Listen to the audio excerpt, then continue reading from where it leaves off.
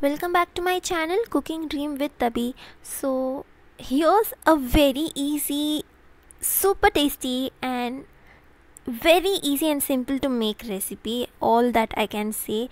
So this is chocolate layered chocolate cups. So as you can see the cups are made of chocolate and I have layered it with cake and some chocolate mousse. And I want I request you all to comment below a perfect name for my dish and make sure you subscribe to my channel if you haven't subscribed yet. Subscribe now and let's get started